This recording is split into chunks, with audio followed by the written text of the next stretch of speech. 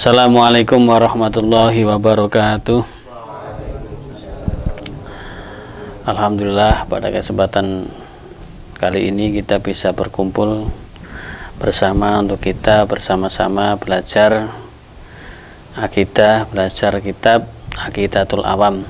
Mudah-mudahan dengan kita mempelajari kitab ini keyakinan kita kepada Allah semakin kuat ya, semakin kokoh semakin uh, apa namanya kuat sehingga uh, keimanan kita nanti bisa senantiasa tambah hari tambah kuat tambah uh, apa mantap terhadap Allah. Kitab yang akan kita pelajari namanya kitab Akidatul Awam. Ini nanti isinya adalah nadom nadom yang di situ menerangkan uh, tentang sifat-sifatnya Allah dan lain sebagainya. Mari sebelum pelajaran kita mulai kita baca dulu bersama-sama agar kita tentunya tidak ngantuk ya. Kita belajar kita membaca natoma dulu bersama-sama. Ayo kita mulai dengan membaca Bismillahirrahmanirrahim.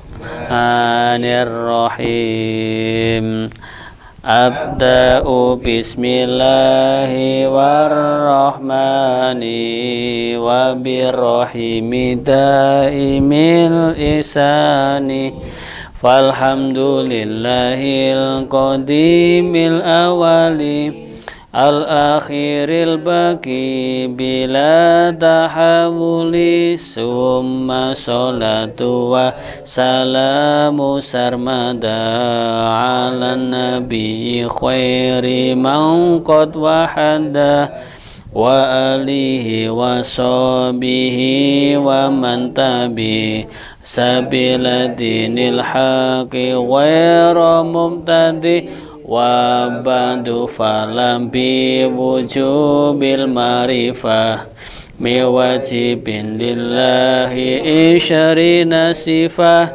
فالله موجود قديم باقي مخالف للخلق إطلاقي وقائم غني واحد واحد Qadirun muridun alimun bikulli syai' Sami'ul basiru wal mutakalimu lahu sifatun sab'atun tantadimu. Faqudratun iradatun sam'un basar Hayatul ilmu kallamun nistamar Pun langsung saja abda'u ngawiti ngaji sapa ingsun bismillahi kelawan nyebut asmani Allah.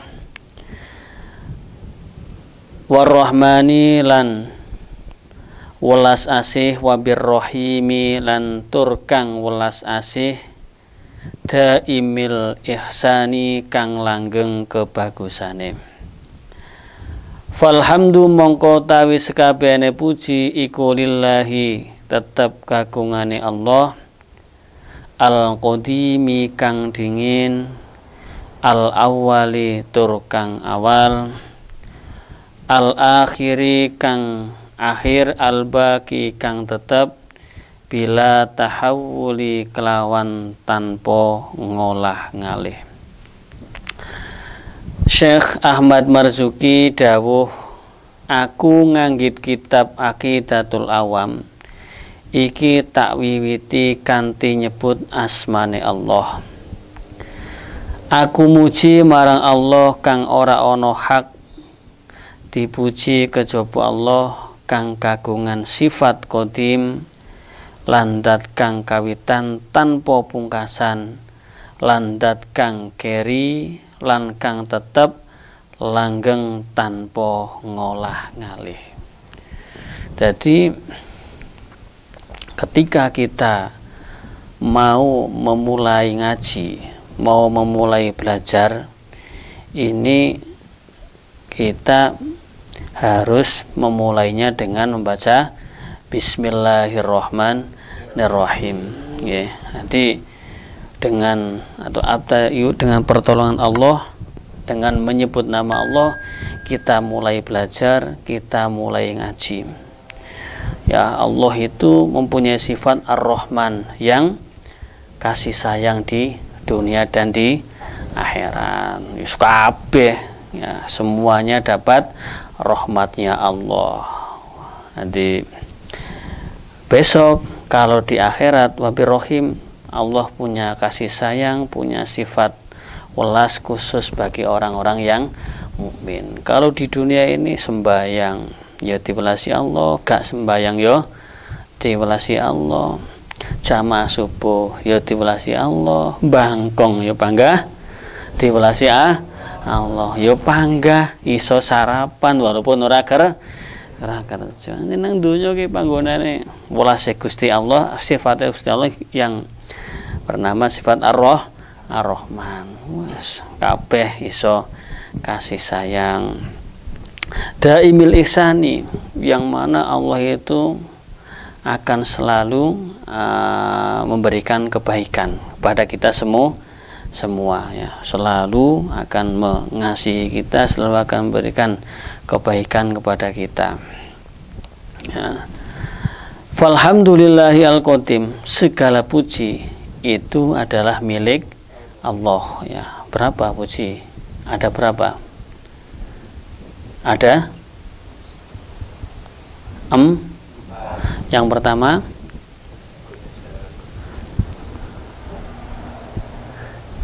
Yang pertama apa? Hadis tahu sekabehane puji iku lillahi kagungane Gusti Allah lah. Sekabehane puji napa mawon?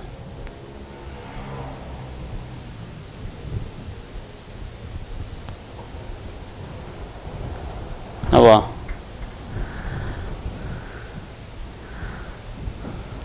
Apa Kang?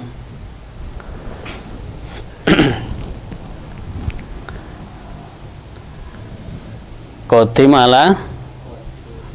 Kodim ala khutus. Kodim ala? Kodim khutus ala?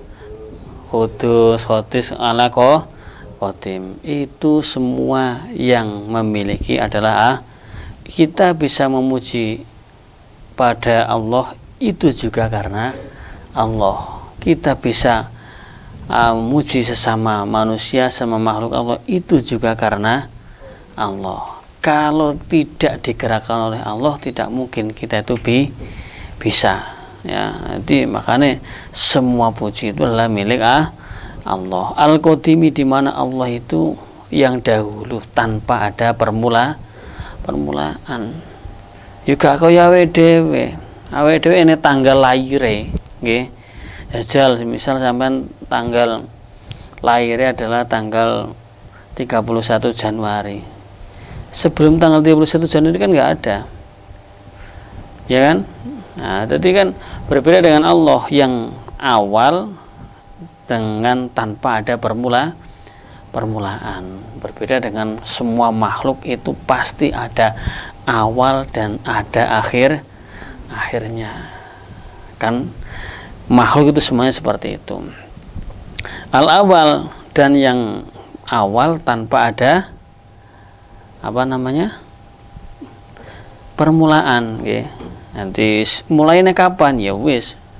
Yang jelas tidak sama dengan mulainya mak makhluk. Al akhir al baki Allah itu uh, akan abadi ya akan abadi. Beda dengan makhluk yang mengalami fa fana mengalami sirna mengalami punah. Sing ganteng yoga selamane ganteng ya kan? Hilang gantengnya teko sing nom juga selamanya nom terus. Hilang nomnya teko tuane sing duwe untu yoga selamanya duwe untu kadang iso entek barang itu sing rambutnya mau nireng yo iso putih barang. Nah itu uh, kita. Bila tahawuli tanpa ada perubahan nggih tanpa ada perubah perubahan. Suma salatu wassalamu sarmada nggih Suma sholatu mongko te tambah tambah rahmat nadim wassalamu lan keselamatan iku eh, sarmada ing dalam selawase iku ala nabi. Muka tetep ing atase kanjeng nabi khairiman kang dadi bagus-bagus wong kot wahada kang teman-teman nyuwijaken sapa Allah ing eh nyuwijaken sapa man ing Allah jadi setelah kita membaca basmalah terus memuji kepada Allah selanjutnya kita berdoa membaca sholat mudah-mudahan rahmat adim dan selamatan selalu dan selamanya mudah-mudahan terlimpah pada junjungan kita Nabi Agung Muhammad Sallallahu Alaihi Wasallam. Siapa itu kanjeng Nabi? Khairiman qad wah sing dadi top tope wong api-api wong sing nywijikne dateng Gusti Allah. Tauhid iki gaene sing nandingi sing paling apik ya menika tauhid Kanjeng nah Kanjeng Nabi. Walihi wasobilan mudah-mudahan tercurah pada keluarga, sahabat dan orang-orang yang mengikut mengikutinya. Mudah-mudahan kita yang berkumpul di sini adalah termasuk pengikut, termasuk orang-orang yang dicatat sebagai golongan umatnya Nabi Muhammad Shallallahu Alaihi Wasallam yang kelak mudah-mudahan mendapatkan syafaat. Amin Allahumma. Sabila dinil kang dadi agama uh, sabila dinil ing dalan agama kang hak. Ghairu mubtadi kang sakliyane bid bid'ah. Nggih. Manut nang di manut dalane agama sing bener agama sing hak ora agama sing bid bid'ah. Dadi yo awake ora ngaku mate kanjeng Nabi ti kelakuane ora kaya kanjeng Nabi kanjeng Nabi. Saiki saiki jamaah yo jamaah jamaah. Sunnah qobliyah yo qobliyah. Kadang bar salat salam se sebret. Ngono sampai ndu ndonga alasannya apa ngan? Boro-boro melu istiho istihosa iso subuhan jam samone alhamdulillah. Alhamdulillah. Yang kadang sholli fardhu subhi rakaat ini kawanan lillahi ta'ala ben ketok peteng jendelane ditu tutup. Lho eh, sering ini dereng metu kok. Ya peteng kabeh lah jendela ditutup. Kaya jajal sampai nduk kene iki. Tutup kabeh lah peteng pateni lampune. Sholli fardhu subhi rakaat ini ora sekawanan ada anillahi taala. Lu si peteng kok. Lho padahal lek awake metu ternyata wis jam pi jam itu itu uh, kadang kita itu seperti uh, makanya mudah-mudahan kita yang di sini adalah orang yang bisa mengikuti tindak lambai kanjeng Nabi dengan menjalankan agama Islam, agama yang hak, agama yang bukan bid bid'ah. Amin Allahumma amin. Senang toh sampean kalau bisa uh, jadi umat yang mendapatkan syafaat umat yang selamat di dunia dan di akhirat. Wa bantu fa'lam lan ing dalam sawise kang sinebut fa'lam mongko werwa sapa sira biwujubil ma'rifah kelawan wajibe ma'rifat ya. mi wajibin bayane sifat wajib lillahi kagungane Gusti Allah isyrina kang rong puluh apa nih? Sifatan sifate sawise opo kang kasebut ngarep Kiai Nadim dawuh kabeh wong mukallaf. Akil balik duwe akal ya wis balik. Wajib ngawerwi lan nekotaken. Dadi muga ngerti tok ya kudu ya yakin. Ya gak yakin tok ya kudu nger ngerti. Tapi wong isone yakin kudu nger ngerti sampean mantep karo cewek sampean gelem arabene karo jenenge Zainab. Nggih pun kula mantep. Sampean wani? Urung ngeruh wonge? Langsung wah wis mboten saestu kula mantep pokok wedok kula gel gelem. Ya isone yakin mantep kudu roh di. Dhisik mriki wajib ngawruhi lan neko ta. Isone mau mantep wah nggih pun cocok niki niki ngangkula patus nggih pun. Kula mantep madep mangan melu moro tu. Dadi sing isone nekotaken isone yakin ya roh di. Makane wajib ngawarwi lan nekotaken sifat-sifate Allah kang akeh ana rong lo kang bakal dipun terangaken ing bed-bed mburi. Nggih. Jadi memang kitab niki mangke nerangaken sifat-sifat wajib Gusti Allah nggih sing bakal mangke dipun terangaken wonten bed-bed salajengipun. Tanbihun tembung wajib kang ana dawuh wujubil ma'rifat iku artine yen dilakoni diganjar yen ditinggal bakal ketatrapan sik jenenge wajib loh wujud kita bangko mukhalafatu lil hawadisi. Hal itu wajib. Hal sampean lakoni apal ngerti ya ora? Dosa, tapi lek gak ngerti gak apal ya do dosa. Nggih, nanti lek? Wujubil ma'rifah. Kon ngerti lah kok gak ngerti. Kayak ketatrapan tuh dosa. Dene tembung wajib kang ana ing dawuh min wajibin iku artine tetepe sifat rong puluh marang date Gusti ah, Allah itu wajib wajib iku barang sing ora mungkin ora ono ya buka wajib wujub sing jenenge sifat wajib sifat sing uh, ketiadaannya itu tidak mung mungkin. Masa Gusti Allah gak wujud. Gak mungkin lah. Ya kan? Masa Gusti Allah uh, podo karo mah eh, Masa Gusti Allah gak duweni sifat uh, gak mungkin lah. Jadi sifat wajib itu sifat yang tidak mungkin tidak pasti dimiliki oleh ah, Allah. Atau sifat yang ketiadaannya sifat tersebut tidak mung tidak mungkin.